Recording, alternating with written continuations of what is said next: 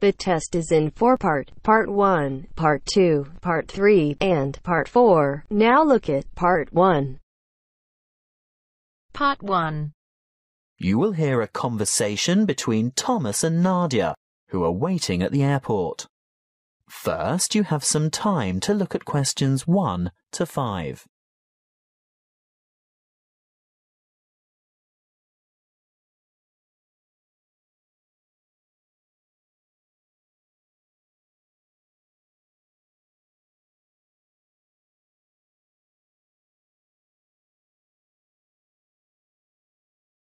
Should answer the questions as you listen, because you will not hear the recording a second time. Listen carefully and answer questions 1 to 5. Where have you been, Nadia? Browsing in the bookshop. What took you so long? You said you were only going to be away five minutes. I was only gone for a quarter of an hour. Well, it seemed much longer than that. Did you buy anything? I was tempted to get the latest novel by Dan Brown, but it's quite heavy and I'd have to carry it around with me. If I could have found a crossword puzzle book, I'd have bought it. But in the end, I was attracted to a front page article in today's issue of the New York Times. Is that all you bought then? Yes. Look, why don't you read the business section while I catch up on the news, and then we can swap? I'd rather have the entertainment section. Are you looking for anything in particular? I just thought they might have a review in there of that new play that opened on Broadway yesterday. The drama about the awfully cruel pirate. Oh, I'd forgotten about that. Hmm, I wonder how good it is. Actually, I was thinking of the new comedy, the one about the physician. Dr. Hunter. That's the one. Well, when I was in the bookshop, I overheard a couple talking about it, and they said it was fantastic, not in the least bit boring. They especially liked the actor who played the main part. Very smooth, apparently. Lots of fun, then. Well, according to those two, they thought it was hilarious. Ooh, we'll have to make a point of seeing it when we get back. Definitely. We didn't have time for breakfast, and I'm hungry. Do you fancy a coffee and a muffin? Sounds like a good idea. And how will you have your coffee today? Long and black as usual? I think I might have something different this morning. What? You don't mean a flat white or some other milky one? Oh, I don't know. I want something to perk me up. An espresso, short and black with sugar? Perfect. Will that be with a chocolate muffin or a berry muffin? I'll try to stay off chocolate. The berry sounds healthier. And I'll have a plain one with butter. Won't be long. Before you hear the rest of the conversation, you have some time to look at questions 6 to 10.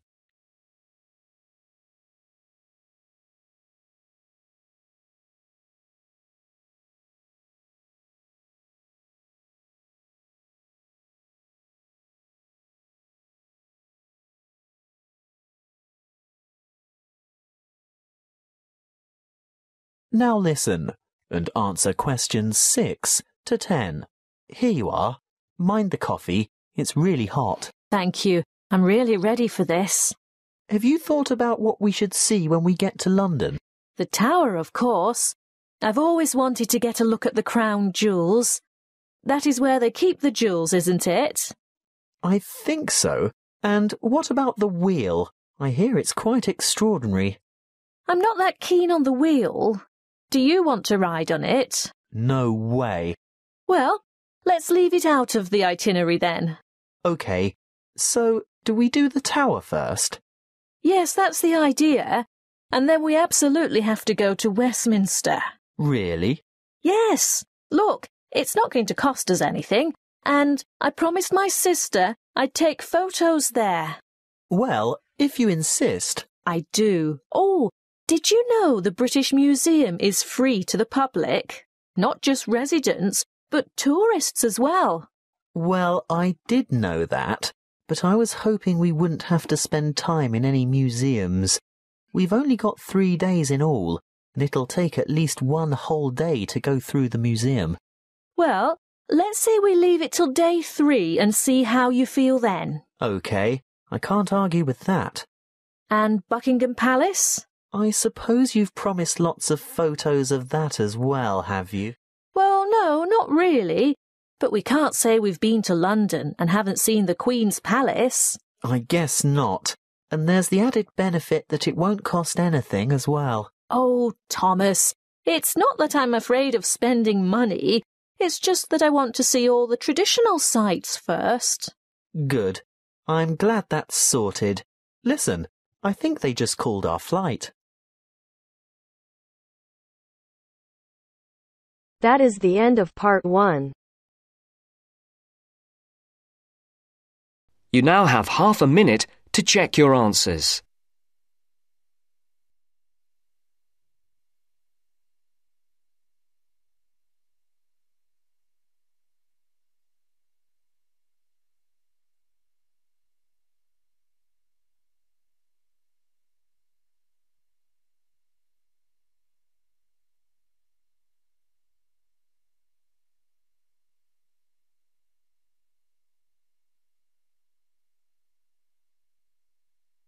Now turns to part two.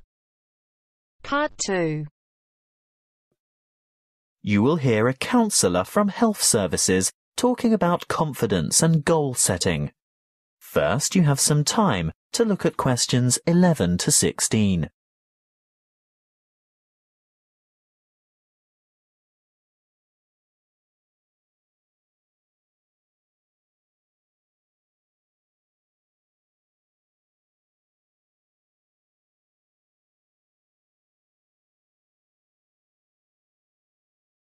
Listen carefully and answer questions 11 to 16. Hello, I'm Joe from Health Services, and I'm pleased to be here talking to you today. You've come here today to learn more about gaining confidence and setting goals. How many of you are truly positive thinkers? Positive thinking is the key to confidence. It doesn't matter whether you are playing a sports match, facing an interview, or preparing for an exam. If you apply positive thinking, you will gain confidence. This is the secret. Positive thought patterns. Positivity leads to confidence, which, in turn, will optimize your performance. What is the one simple mental strategy that all confident people have in common? They concentrate on success. But don't they ever fail? Don't they make mistakes? What happens when things go wrong? The crucial difference is that they don't dwell on failure. Everybody makes mistakes. I mean, how else do we learn? Rather than giving up or becoming depressed, the best strategy is to register the mistake, note what went wrong, and determine what would have been a better way to act or what could have been done differently in order to achieve a more successful outcome. Then move on. Yes, erase the negative emotions. Allow those memories of defeat, frustration, or dissatisfaction to fade and move forward. Negativity erodes confidence. You need to put aside your disappointments and focus on successful outcomes. Oh, it's not that easy, I can hear you saying. Well, no, it's not easy to forget failure but no one ever fails completely, so congratulate yourself on the areas where you did do well. Mentally replay the best bits, even if they're only a small part. Now, there are two more things you need to do. Firstly, rehearsal. Yes, you heard me. Rehearsal. Surely only actors in a play need to rehearse their parts. No, the truth is, we all need to rehearse. This is a surefire way to build confidence. Before the match, presentation, the exam, or whatever, imagine yourself performing successfully in that particular situation. And here's the second tip. Look confident. That will always give you an extra physiological advantage. So you can see that mind and body work together on this. You have to think and act positively. let's talk a bit more about how to look confident. If you have to overcome a challenge, get rid of that anxious expression and rigid posture, those downcast eyes and nervous gestures. Even if you don't feel very self-assured, you can still give the appearance of confidence. Stand tall, hold your head up, make full eye contact, and keep an open expression. Replace the frown with a smile if you can manage it. And those hunched shoulders? Relax those shoulder muscles. If you need to, take a deep breath and stretch to release pent-up anxiety and tension. What if you have to make a difficult phone call, for example? Nobody can actually see you, so does it matter what you look like?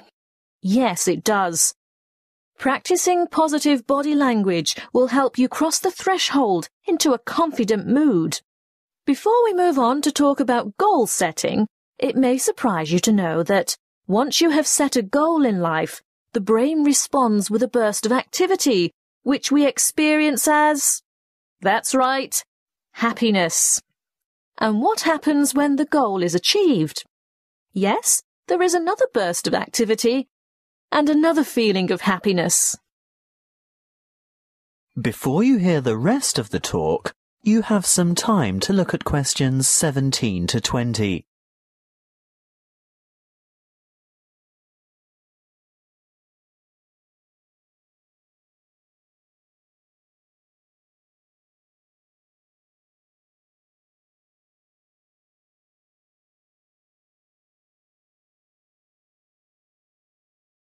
Now listen and answer questions 17 to 20. As you can see, the recipe for a happy life is to maintain a positive attitude and keep setting and achieving your goals. So, whatever your goal, whatever it is that you're aiming for, a new job, losing weight, giving up smoking, graduation, you need an appropriate and by appropriate, I mean achievable goal. That's the first step. The next thing to consider is motivation. How do you get going? Well, it's more likely to motivate you if you think of the rewards of success rather than focus on failure or what you might lose. So, you need to establish your incentives. After that, you'll have to work out the various stages and phases that you'll need to go through along the way and prepare for each one of them. If you're not naturally motivated, keep the targets small and achievable. But it really is important to ensure you collect the resources to accomplish the various steps. If you have performed that particular task before, you may already have the resources, or at least know where to get them from. If not, Ask someone who has already succeeded. When you have got this far, the next stage is obvious. Yes, you have to take the first step. That's not quite all there is to it, though. The final thing is to remember to keep track of what you've accomplished. In other words, be sure to maintain a progress log. That way you can look back at your previous small successes and watch your progress along the way to achieving your goal. That is the end of part two. You now have half a minute to check your answers.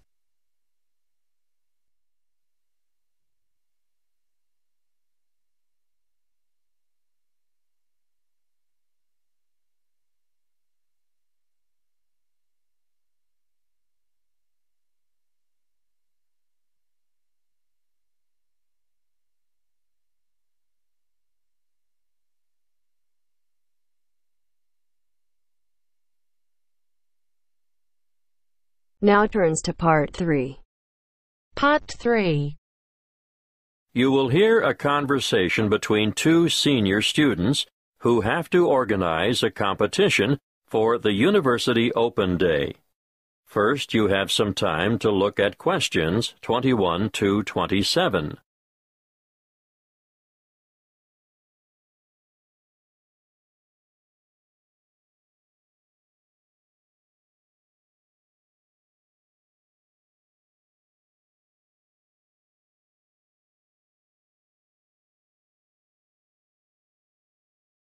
Listen carefully and answer questions 21 to 27. Hi, Grant. What sort of competition do you think we should organize? Well, Claire, the Open Day Committee was pretty clear on that. It must be something with youth appeal. That makes sense. After all, most of the visitors will have just left high school. Yeah, so I was thinking technology? Do you mean something which uses the latest technology, like an iPod? Something like that, but a bit more expensive maybe. What about the latest iPhone? I'm saving up for one right now. Let's make it an iPad. I wish I'd had a tablet computer when I started university. Yeah, that's a great idea. That should get a lot of our younger visitors interested. Right. Let's go with that then. Fine.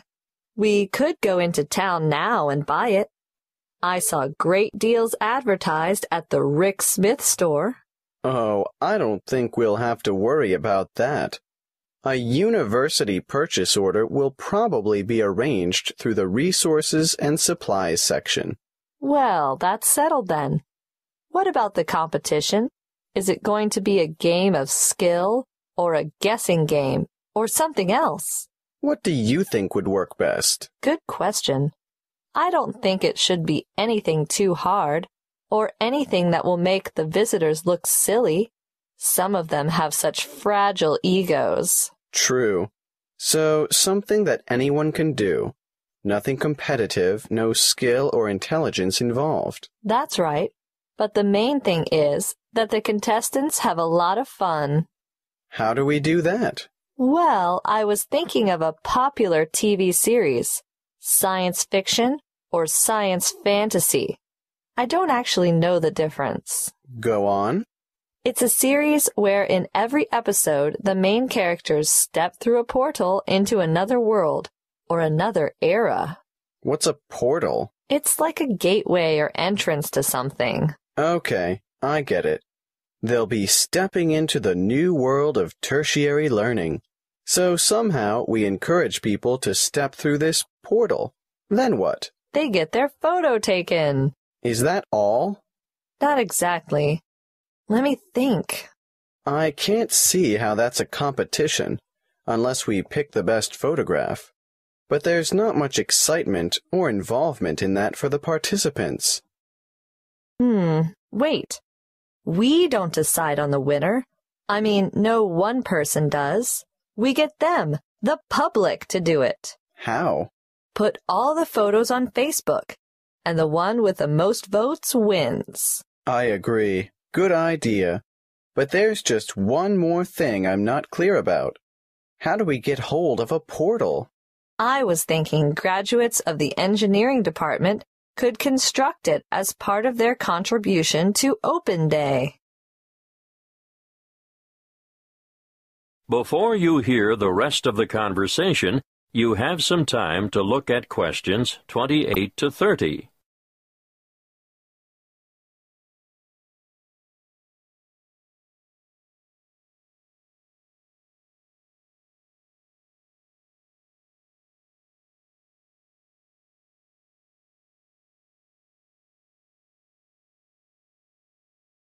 Now listen and answer questions 28 to 30. How do visitors enter the competition on Open Day? Well, firstly, they have to make their way to the Portal photo booth on campus. Okay. A bit like a treasure hunt to start with. Yes. And then they get their photo taken stepping through the portal. And they'll have to write down their details. You know, name, phone number, email. No, hang on. Let's keep it simple. Just name and email address should do. Then, after, say, the 30th of July, people can visit the university Facebook page and vote for their favorite photo. So the photo with the most votes wins. Yes, I think that should generate quite a bit of interest. What about a cutoff date? Of course, maybe, um, the most popular photo as of 5 p.m. on the 10th of August will collect the iPad. and the winner will be notified by email. And the winning photo will be enlarged and published in full color on the university Facebook page.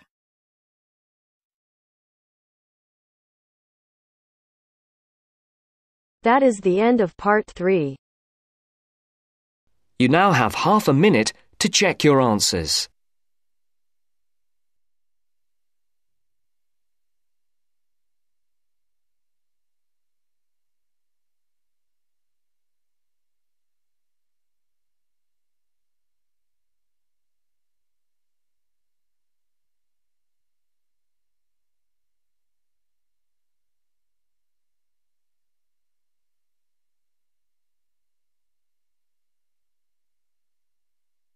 Now turns to part 4.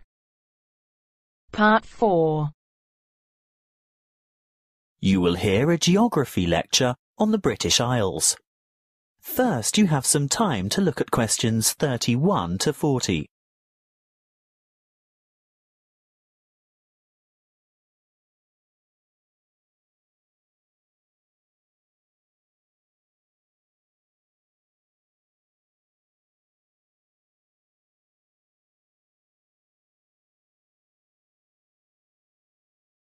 Listen carefully and answer questions 31 to 40. Hello, I'm glad so many of you have turned out to hear what I have to say today about the British Isles, that area of the eastern Atlantic that we Americans find so confusing. I'm afraid just looking at a map or a page in the atlas doesn't necessarily explain the geographic terminology. In referring to the British Isles, a word of apology for those of you of Irish descent. That is, those whose ancestors come from Eire, the Republic of Ireland. No matter how geographically accurate the place names that I use today are, some of you will be understandably upset to be included in anything termed British. I have a very useful image that might help you differentiate between the various labels that distinguish the political and geographic reality of the so-called British Isles. I want to show you a Venn diagram, which is a mathematical illustration that shows all the possible relationships between sets. Look at this Venn diagram, and you will see that the geographical terminology is in bold, while the political terms are in italics. See here the British Isles in bold and the British Islands in italics. The aim of this lecture is to explain the meanings of and relationships among those terms. In geographical terms, you will see that the British Isles is an archipelago made up of the two large islands of Great Britain and Ireland, and including many smaller surrounding islands. Of course, you can't tell from the Venn diagram the true comparative size of these islands. You'll need to look at the map for that. But take my word for it, Great Britain is the largest island of the archipelago, followed by Ireland, which in reality, geographically, lies to the west, and there are over a thousand smaller islands. Now, in political terms, the United Kingdom of Great Britain and Northern Ireland is the constitutional monarchy, which includes the island of Great Britain, some small nearby islands, although not the Isle of Man or the Channel Islands, and the northeastern part of the island of Ireland. Thank goodness it is generally shortened to United Kingdom, the UK, Great Britain, or Britain, or even the abbreviation GB, although none of these are strictly correct, of course. You'd better listen carefully to the next part, because, I warn you, it is very confusing. Ireland is the name of the sovereign republic occupying the larger part of the island of Ireland. But to distinguish it from the name of the island itself, and most importantly from the other part which belongs to the UK, it is called the Republic of Ireland, or its Irish language name, Eire. That's E-I-R-E, even though Eire directly translates as Ireland. The smaller portion of the island is called Northern Ireland.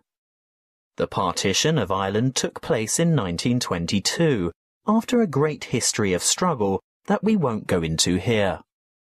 England, Scotland, Wales and Northern Ireland are legal jurisdictions within the United Kingdom, but Great Britain refers to the countries of England, Wales and Scotland as a unit.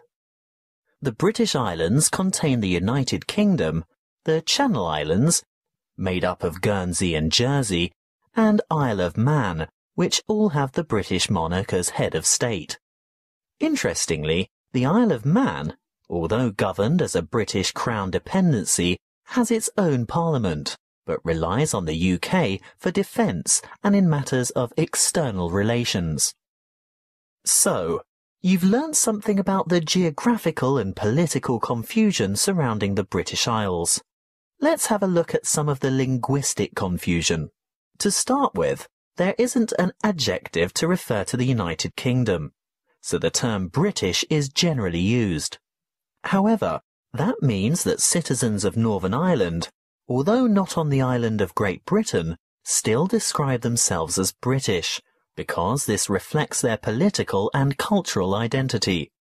Irish, in a political sense, refers to the Republic only, so sometimes citizens of Northern Ireland would call themselves Northern Irish as a point of difference. Of course, the Northern in Northern Irish is not completely accurate either, as the most northerly peninsula on the island is in the county of Donegal, which is part of the Republic. Okay, we might get in a muddle over the term Irish, but at least Scottish, Welsh and English should be self-explanatory.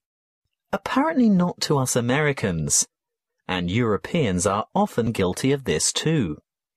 We often use the term English incorrectly to mean British. I'd have to be the first to admit to calling my Welsh colleague English, which really gets his heckles up. He is Welsh, he tells me, and he may also be British, but he is definitely not English. Just one more thing. What is the British Commonwealth? It's a voluntary association of independent states, many of which were former British colonies. In fact, what was primarily the old British Empire. However, it's no longer known as the British Commonwealth, but is now called the Commonwealth of Nations instead, presumably because current members do not want to remember the old colonial ties.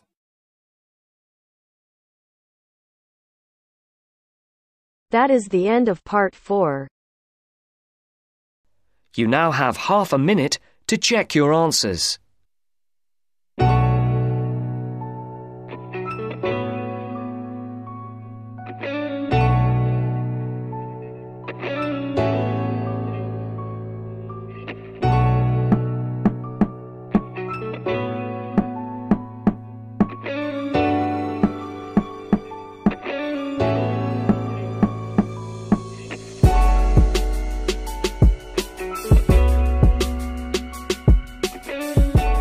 That is the end of the test.